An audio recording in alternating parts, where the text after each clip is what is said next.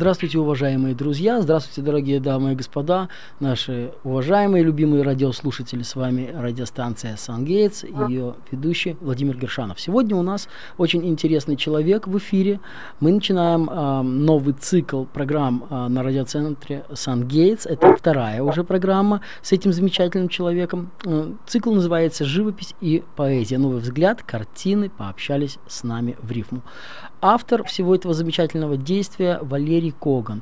Очень интересный человек, замечательный рассказчик, э, прекрасный творческий человек, причем очень разносторонне развит в разных направлениях бытия. Доктор наук, писатель, поэт, публицист, член Международной ассоциации литераторов и журналистов а, в Лондоне. Первая, первая передача этого цикла у нас уже прошла, и мы получили массу звонков, и всем очень интересно, и поэтому мы продолжаем нашу передачу. Итак, здравствуйте, Валерий, спасибо, что вы сегодня с нами. Добрый день, дорогой ведущий, э, дорогие э, слушатели и зрители. Э, значит, цикл был начат в прошлый раз, и мне хотелось бы на сегодняшней встрече продолжить разговор о трех первых живописцев, которые стали объектом моего интереса и, соответственно, получили отражение в виде изданных альбомов. И первым из них был Иван Айвазовский. Я напомню, покажу его альбом еще раз. Видно хорошо? Нет, да, я да, не знаю. Хорошо. Да, да, да, да. Значит, вот этот альбом. Значит, э, в прошлый раз не было возможности мне э, рассказать о том, что этот альбом был первым в этом сериале, и мы, соответственно, составители этого альбома, я и Рафаил Пинкусевич, который подбирал картины, а я писал к ним стихи, считали необходимым обратиться к вам, дорогие читатели, такими словами. Порядок здесь приведенных картин – привязан к датам их рождения. Мы предлагаем на полотна новый взгляд, изображение пропустить сквозь ощущения, вернее душу, э, вернее душу для передачи наших чувств пусть стих послужит. Попытку нашу не судите строго, для вас старались как могли Раф Пинкусевич и Вэл Коган. Это было наше представление и как бы первое ознакомление вас с понятием «новый взгляд». А дальше я зачитаю, покажу несколько картин, которые, так сказать, дают представление как о самом художнике, так и об этом альбоме. Значит, вот картина, я ее вам показываю. Угу. Называется она «Кораблекрушение». Написана была в 1843 году. Это одна из его самых известных картин, как я понимаю, правильно? Ну да, одна, ну, у него практически цикл где-то с 1840 до 1850 это был бы как бы всплеск его таланта, и который, очевидно, запомнился многим людям, поскольку это был океан и игры с ним так можно сказать. Значит, э, стихотворный комментарий к этой картине звучал так. Удар волны, крушение корабля, и люди тонут. Сквозь шум неистовой воды несутся стоны. Спасение шанс немногим потерпевшим дан. Погибнут многие, обрек их ураган. Замечательные стихи, и, кстати, очень точно вы так все характеризовали. Именно нужно видеть полотно, надо знать э, мариническое творчество Айвазовского для того, чтобы понимать вообще глубину всего этого. Вы очень да, ну, это описали. Теперь я просто э, как напоминание и возврат к тому, что многим известно. Девятый вал, я его напоминаю вам показом этой картины. Она видна? Да. Да. Хорошо видна, да? Да. Значит, вот это девятый вал. Я его прокомментировал так. Это общеизвестная картина, у многих она вызывает свои ассоциации. Мое ощущение этой картины звучит так. Смешение красок будоражит нервы. Мы лицезреем лучшие из шедевров. Копил энергию, зловеще угрожал, как наказание за грехи девятый вал. Обломок пачты, мачты и испуганные люди. Лишь вера в чудо им поддержкой будет. Да, замечательно. И вы так оставили такую концовочку незавершенную. То есть, что там дальше будет, непонятно. Да, Хотя да, все да. понятно. Догадывайтесь, Сами. фантазируйте изобретайте. Называется «В лучших традициях Голливуда». Оставили концовку на рассуждение уважаемого радиослушателя. Да, вот любопытная картина очень тронула меня своей жизненностью, своей приближенностью к нашей реальной жизни. Многие ее вообще не знали. Так. Вот я ее показываю. Эта картина называется «Камыши на Днепре близ местечка Алешки». М, интересно. Пожалуйста, посмотрите. То есть заметим, так. не море, не море. Видно, да? Да, да, да, да, да. Пожалуйста. Значит, тут такой комментарий к нему, несколько, так сказать, юмористичный. Так. Камыш под песней звонкой гнулся. Неслась песня над Днепром. С певцами челн чуть шелохнулся под легким предвечерним ветерком. Шмат сала с обжигающей картошкой вечеря у местечка близ Алешки.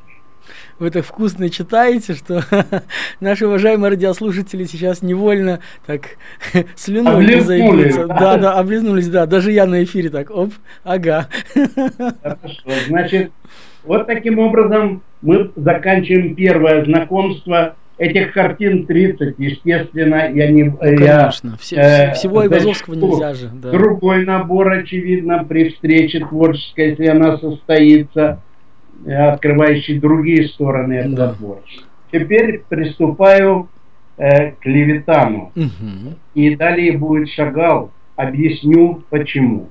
Значит, у меня достаточно много времени заняло э, погружение в еврейскую живопись, и я отобрал великолепную семерку, в состав которой, естественно, вошли Левитан, Шагал и далее пять выдающихся еврейских живописцев, известных всему миру, но знаменитых еще тем, что все они были евреями, но, думаю, большинство или множество из слушателей и зрителей не знали о том, что они были евреи. Но это будет э, программа, это войдет в следующий, э, следующее интервью, а пока я охвачу первых двух, которые не вошли в тот сборник, где эти пять, пять выдающихся евреев, живописцев, а это первые Исаак Левитан и Марк Шагал. Значит, начинаем э, с Левитана, Значит, опять я зачту наше обращение автора или э, составить, э, автора, тут я уже остался один, я уже был составителем угу. и автором стихов, и э, правда Рафаил Перкусевич и здесь мне помог подобрать приблизительно половину этой подборки угу. этих. Но я не удержался, и Левитан так меня околдовал, что это единственный альбом, в котором 40 картин охвачены моим комментарием. Он настолько меня вдохновил, настолько, так сказать, поразил, настолько влюбил в себя, что я практически не мог остановиться. Ну, Значит, от, от составителя альбомов я показываю обложку этого альбома. Надеюсь, ее можно разглядеть. Да-да, видно, видно видно, да? Угу. Называется альбом «Живопись Исака Левитана. Новый взгляд. Резюме стиха». Так. От составителя альбома. Пусть непривычен наш подход к оценке и восприятию картин в альбоме этом. Мы подтверждаем, был Исаак поэтом. Природу насыщал особым светом. Но больше осень он любил, чему благодаря нас покорил.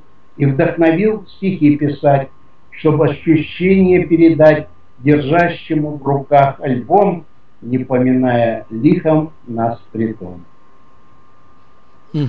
Замечательные стихи, интересно очень. Ну, понимаете, Левитан вообще фигура такая одиозная, неоднозначная. У него сложные картины, ну, для вот такого обычного восприятия. То есть Левитана нужно понимать. Это как бы... Левитана нужно, правильнее сказать, чувствовать. Чувствовать, да. Понимать, понимать э, Понимать можно любой сюжет, реалистичный он или абстрактный, или да. вообще какой-то непонятный, но Тут все проникнуто глубоким чувством, глубокой любовью к человеку, к природе, к окружающей среде, ко всему, что окружает нас в этой жизни. Вот картина, которая э, называется «Видна», да? Да. «Берег моря». Это э, Крым, злополучный Крым, который стал притчей во языцей в это время, уже в течение года мы все время переживаем Крым наш или Крым не наш, но здесь это Крым наш, это Крым, принадлежащий всему человечеству, поскольку он бесконечно прекрасен, бесконечно доброжелателен, бесконечно дружелюбен и всегда ждет нас. Поэтому, значит, э, я прокомментировал эту картину таким образом. Следы разлома скал, обласканные морем, их сочетание нас радует окраской. Вода по цвету даже с радугой поспорит. Созвучие же цветов зовет нас в сказку.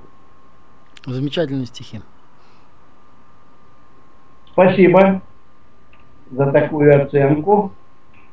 Теперь я перехожу к циклу, который нашел отражение, кстати, э, вернее, объекты, которые изображены на этой картине, они нашли отражение у многих поэтов. Они звучат по-разному, но такую лиричность, такую теплоту, возможно, трудно найти еще где-либо, кроме полотен Левитана. Вот, пожалуйста, эта картина. Называется она «Березовая роща». Угу. Вот ее сотворение 1888. Попытка в мир проникнуть Левитана не показалась на примере этом странной.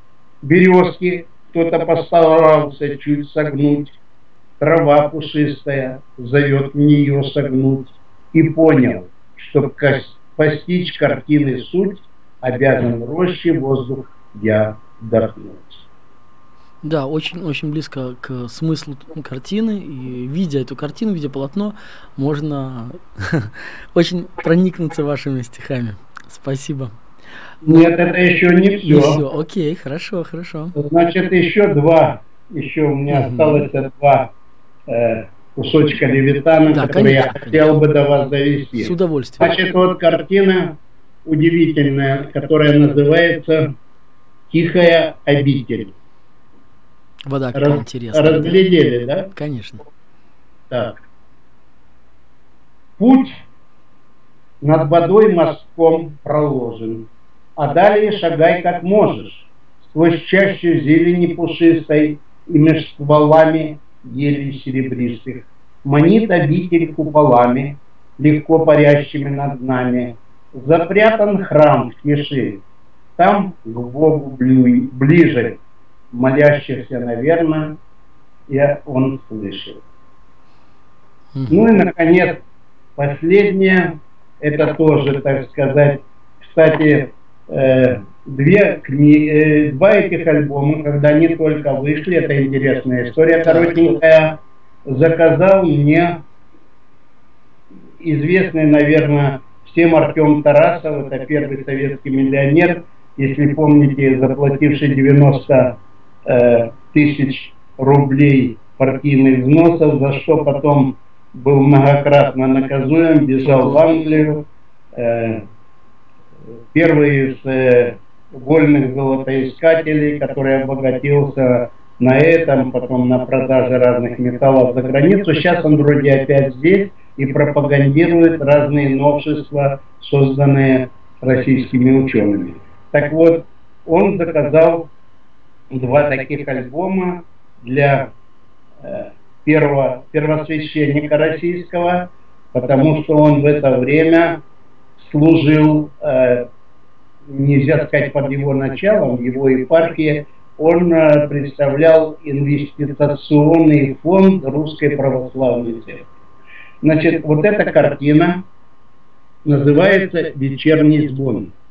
Я вам ее показываю. Ней короткая лаконичная комментарий, э, лаконичный комментарий. Подбор цветов и их сочетаний разнотонных подобен звукам колокольных звонов, несущихся над тихой рекой. Вечерний звон, блаженство и покой. Очень легко, красиво и соответствует увиденному. Спасибо. Очень близко, это, очень близко. Э, так сказать, Левитан, дорогой сердцу, близкий сердцу. Но я же жду Шагала. Я очень люблю Марка Шагала с его такими неоднозначными картинами. Пока мы вроде бы не превысили наш лимит. Ну, нормально, мы во время. Всего 15 часов, и поэтому 15 э, минут я занял вашего времени. Это Марк Шагал. Да. Это удивительный художник, это необычный творец и скульптор, и что только он не натворил, и мозаика, и все. И, по-моему, его след неизгладимый, поэтому меня страшно удивило. Был период, когда я работал, чтобы как-то прожить, только по приезде э, на заправке, на газстейшн. Так и э, был э, ночным кассиром, где мне приходилось это все делать и продавать то, что нужно было, и заправлять машины, и мыть пампы и так далее. Это вам доктор Но наук. суть не в этом, а рядом со мной трудился мой сменщик, угу. и я неожиданно узнал, что он из Витебска, так. и что он э, жил на родине Шагала, но, как оказалось, его супруга даже не слыхала этого имени. Ого. Хотя этому человеку в то время было около 60 лет, поэтому это несколько странно. Впрочем, э, впрочем для Советского Союза это было вполне очевидно нормально. Так, и теперь э, я зачитываю обращение к читателям от создателя альбома. Чтобы творчество художника понять, историю еврейства надо знать.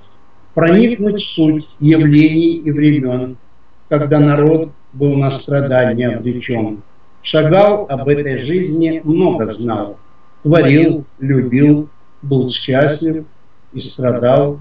Попытка наша о картинах рассказать, вернее их подборки 30 небольшой, взглянул по-новому, по-новому могла перепугать, хотя смотрелась как идея хорошо. Дать резюме и в стихотворной форме, да это вызов всем привычной норме. И если труд наш не напрасным стал, спасибо всем, альбом кто в руки взял.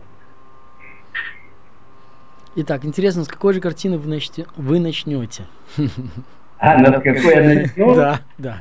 Я начну неожиданно для вас с картины, э, которая, ну, не знаю, она немножечко обескуражит. Так. Но это я впервые. Хорошая картина, хорошая картина, не спорю. Не все евреи особенно, э, так сказать, ортодоксальные, воспринимают, ее. воспринимают ногое тело. Но здесь нельзя было не удержаться. Ну мы же о искусстве говорим, а это да. совсем другая нагота, извините. Да, значит, картина называется «Красная обнаженная». Угу. Картине пояснений не читал, но ясно, что женщину мы видим просто красным. Загар чрезмерный или ожог от бани. Вопрос, быть может, этот странен. Скорее всего, натурщица смутилась, когда впервые обнажилась. Художник этого не знал, и то, что видел, написал. Вы, выкрутились, называется. Выкрутились из положения. Ну, ну что ж, зачет, зачет. Хорошо. Да, интересно. Пришлось, выкручиваться. Да, да, да, да. да. По-другому тут не сделаешь. Такое обращение уже теперь э, со знаком уважения и некоторым извинением э, к верующим евреям. Вот такая картина. Сейчас я ее выведу. Разглядеть можно было? Да, да, да, видно, видно. Угу. Значит, картина называется «Евреи молитвы». Да. Да, Бог носитель мудрости и знаний. Он многолик, но к нам не безразличен. Есть Тора, средства для разумий, раскаяний. Еврей, молящийся, мы знаем, динамичен. Мольба о счастье, Просьба о прощении в молитве откровений воплощения. Ну, замечательно, так сложно вы так хорошо. То есть блеснули уже всеми красками здесь. Да, ну теперь, э, так сказать... Э, Летающая женщина, наверное, нет? Поклон, поклон э, всем известным скрипач на скрипке. Mm-hmm. Но здесь просто скрипач. А, окей. Вот, пожалуйста, я вывожу эту картину. Увидели? Да, да, да, да. И звучит мое, э, мой комментарий к этой картине так. Еврей и скрипка. Плач о жизни вечной. С тоской в душе не просто жить. Сумел художник, я уверен, безупречно в окраске тягостной. Все это местечко, Днем осевшие евреи, напев могилы, жаль, сердца лишь греет. Замечательно. Вот таким образом я коротко познакомил вас с тремя великими людьми. Один из них, правда, был армянином, но это не меняет ну, сути. И на, на следующей встрече я приступлю к этому сборнику или к этому альбому, которому, в котором я собрал остальных пять из великолепной семерки. Но я не буду даже сейчас называть их имена, поскольку эти имена не все знают, что это еврейские имена. Пусть это останется загадкой, поводом для раздумий при подготовке к следующей встрече со мной. Спасибо за внимание. Итак, уважаемые друзья, я хочу поблагодарить нашего замечательного респондента Валерия Когана, который сегодня выступал так замечательно и читал свои прекрасные стихи, показывал картины. Вообще такой труд достаточно интересный. Вот. Комментировать картины в стихах это нужно еще уметь и чувствовать, за что вам, Валерий, огромное спасибо. Напоминаю вам, дорогие друзья, это была радиостанция Сангейс, телефон нашего эфира прямого обычно 847-226-9956. Вы можете после эфира э, или во время эфира э, всегда позвонить по этому телефону и задавать вопросы. Также вы можете присылать свои смс э, нам на страничку или на этот телефон.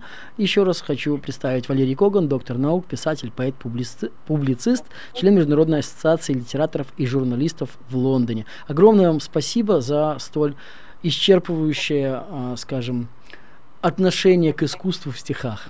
Вот. Спасибо. Всем. Спасибо. До свидания. До следующих До встреч. встреч. Да, благодарствую. До свидания.